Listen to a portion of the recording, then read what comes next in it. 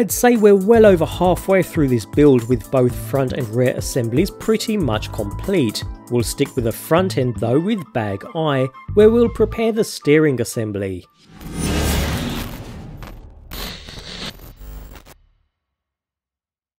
Okay, so we'll crack straight on with the steering assembly, bag I. Everything we need is included within this bag, including the aluminum Ackermann plate. And what's interesting about this plate is that we have three positions for mounting the steering assembly, although if you switch the plate over we have another two, so five positions in total for greater customizability. Anyway, let's get this together. Start with the first bell crank here and insert a bearing into the top and bottom of the arm, before inserting a bushing and then securing the metal plate to the bell crank with a 10mm button head screw, although remember to add a little thread lock here too.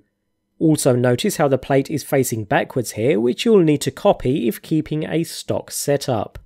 We now need to build the other side of the bell crank with what's called a servo saver. So start with these two parts here, placing them together, and insert the longer piece from the top straight through.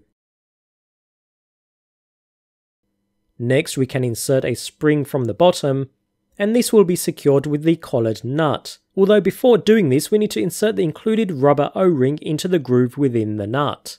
You'll find installing the nut much easier if you use a 17mm wheel wrench in order to tighten the nut all the way down so that the spring is fully compressed. With full compression, loosen off the nut two full turns to achieve the optimal position.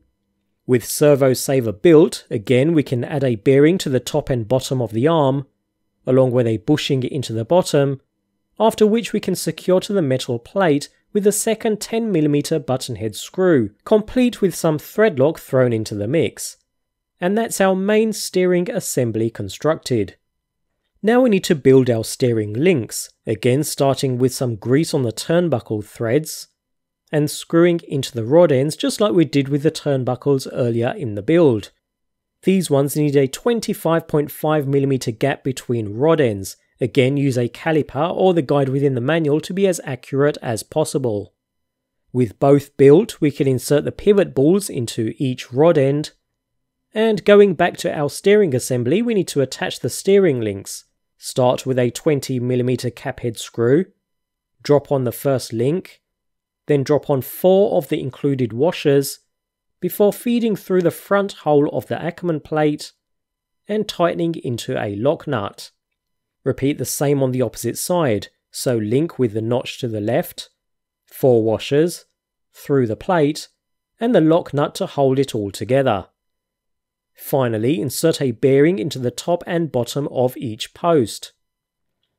And that brings us to the end of our steering assembly build and bag I is now complete. Again, make sure everything is nice and free. Now bearing in mind you will be left with this single piece after completing the bag.